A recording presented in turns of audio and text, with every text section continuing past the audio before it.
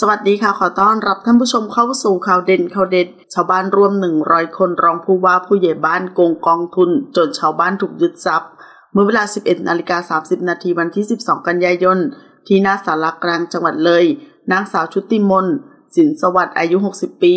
นายวง ป้องนาลาอายุ 58 ปี นายรวยพุทธมัตอายุ 67 ปี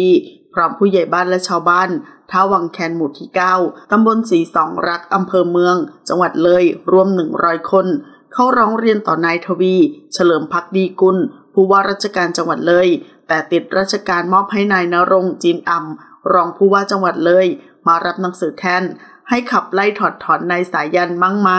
ผู้ใหญ่บ้านท่าวังแคนให้ออกจากตำแหน่งตามมาตรา 14 วงเล็บ 6 เพราะชาวบ้านไม่มีความไวเนื้อเชื่อใจในการปฏิบัติหน้าที่ โดยได้นำเงินกองทุนหลายโครงการ และของสถาบันการเงินกว่า 6 ล้านบาทมาปล่อยกู้ให้ชาวบ้าน เพียง 3 ล้าน7แสนบาท ส่วนที่เหลืออีก 2 ล้าน9แสนบาทนำไปใช้ส่วนตัว โดยมีชาวบ้านและคณะกรรมการอีก 7 คนเป็นคนเซ็นค้ำประกัน สุดท้ายทางผู้ใหญ่บ้านไม่มีเงินจนสถาบันการเงินได้ฟ้อง และยึดทรัพย์คณะกรรมการกองทุนห้าคน และผู้ใหญ่บ้านและภรรยา จนชาวบ้านเดือดร้อน และคณะกรรมการกองทุน ถูกยึดที่ทำกินและบ้านเสียหายกว่า 5 ล้านบาท จนชาวบ้านทนไม่ได้มาร้องเรียนต่อผู้ว่าราชการจังหวัดเลย ขอขอบคุณข้อมูลจากสยามนิวส์ขอบคุณค่ะ